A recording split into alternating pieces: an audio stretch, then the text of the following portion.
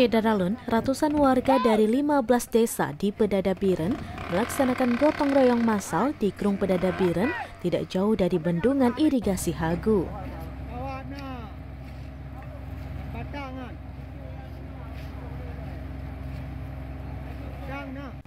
Gotong royong tersebut mengalihkan alur sungai yang sudah berpindah dampak banjir besar sehingga air tidak lagi ke bendungan irigasi Hagu sehingga tidak ada air untuk dialirkan ke sawah di Pedada Biren.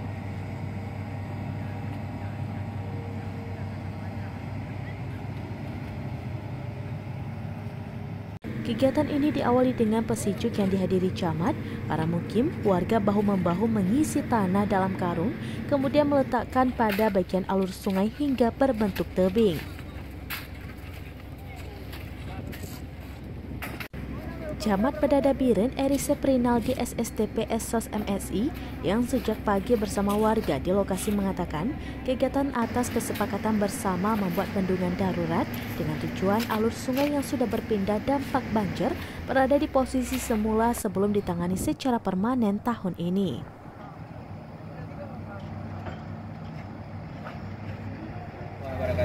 Alhamdulillah pada hari ini kami masyarakat di wilayah di berada khususnya dibantu oleh para pekerja para kisi dan kijun serta petani pengguna air bergotong royong bersama dalam rangka untuk membuat bendungan sementara Gunung Bedada ini sehingga kita berharap air bisa teraliri ke bendungan sebelum pekerjaan fisik yang dilakukan oleh APDA.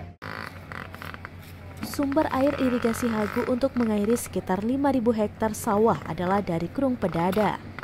Musibah banjir beberapa waktu lalu alur sungai berpindah sehingga air tidak lagi mengalir ke Waduk Hagu.